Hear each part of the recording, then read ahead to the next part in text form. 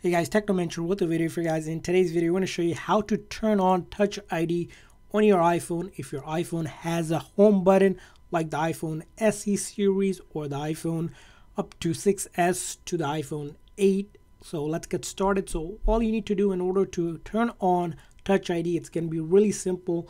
All you go is go into your setting of your iPhone and once you go into your setting of your iPhone, you're going to scroll down until you see Touch ID and passcode. So we're going to click on that. Now you might be prompted to enter a passcode. That's your phone's passcode if you had set up a passcode previously.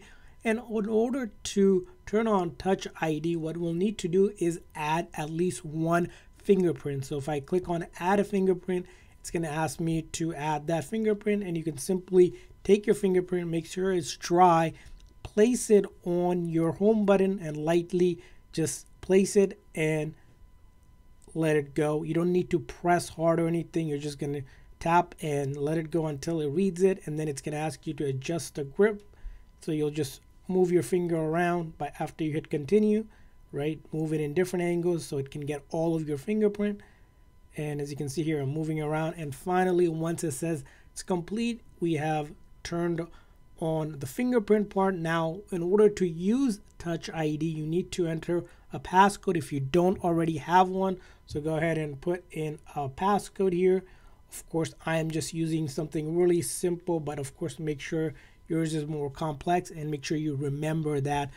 And after you set a passcode, you can now start using a Touch ID and it's turned on for us to use. And we can test that by locking our phone and then clicking or as you can see here if I click on it normally it will ask for that. But if I use the finger that I just set up and I can use that just like that to unlock my phone. And you can also use the touch ID you turned on for things like app purchases any kind of other Apple Pay as well that will ask you to verify your identity.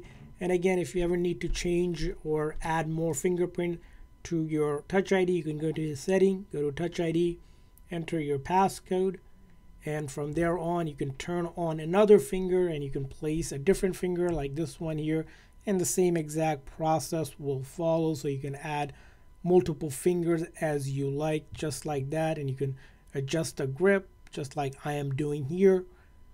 And after we do that as you can see here we hit complete and now I added a second one that I have turned on and I'll be able to use my touch ID now if you go ahead and delete the fingerprint like this and you delete all of them your touch ID will be turned off because there is nothing that you can use anymore. So you need at least one fingerprint. So I hope this video was helpful. If so please make sure to like and subscribe button. Thanks for watching guys. See you guys next time